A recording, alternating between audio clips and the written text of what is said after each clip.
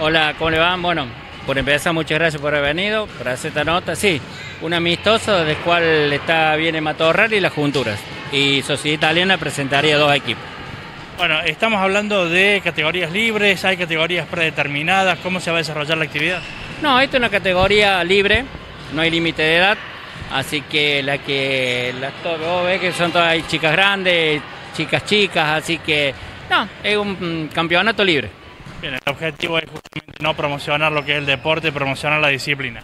Exactamente como has dicho, o sea, lo importante de nosotros es que la gente siga participando, que vos ves que hay muchas chicas que practican el deporte, así que bueno, seguimos con esa consigna de seguir practicando volei.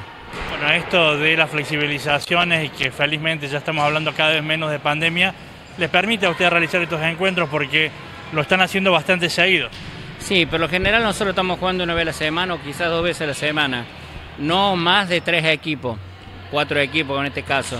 Y la otra vez hicimos un campeonato grande que fue un día domingo cuando los autorizaron. Así que ahora tenemos la posibilidad, el 7 de noviembre vamos a hacer otro nuevo, otro grande aquí en Sociedad Italiana.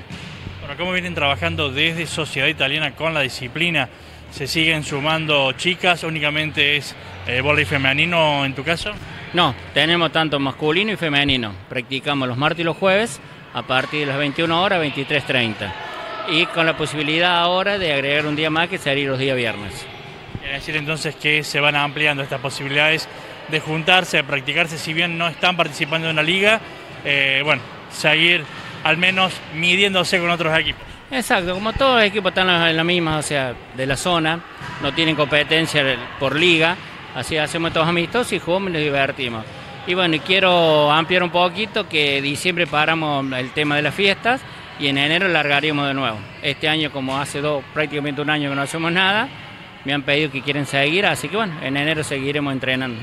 Como proyecto, Carlos, para el próximo año estarían pensando en ser parte de alguna liga, si Dios quiere ya las cosas van a estar más normales, entre comillas. Sí, sí, la idea nuestra es por eso que trabajando, como varios clubes lo están haciendo, para participar en una liga.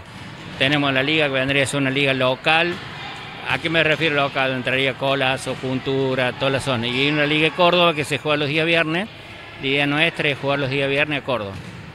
Se debe extrañar eso, ¿no? Mucho, mucho, mucho. En un ejemplo, yo en el caso mío, que también soy árbitro, va a ser un año y medio que no arbitro. Así que bueno, con muchas ganas de empezar de nuevo también para empezar a arbitrar. Carlos, ¿no se está disputando ninguna liga o ustedes puntualmente no están participando en este momento? No, liga, la Liga de Córdoba de Bolos se está jugando. No, eso empezó desde que levantaron, si se puede empezar a jugar, se está jugando en Córdoba, se está jugando. Pero nosotros todavía no estamos para ir a jugar a la Liga de Córdoba. Se juega únicamente tenemos un nivel grande que le llaman ellos, Maximami, que se juega únicamente los días viernes. Esa es la intención nuestra, entrar a trabajar el año que viene, entrar en esa liga. ¿Se pueden seguir sumando aquellos que quieran ser parte de Voley y Sociedad Italiana? Las puertas están abiertas para todo el mundo, saben que a partir de las 21 horas hasta las 23 horas vienen, se, prueban con las chicas, y si les gusta siguen y si no, no hay problema.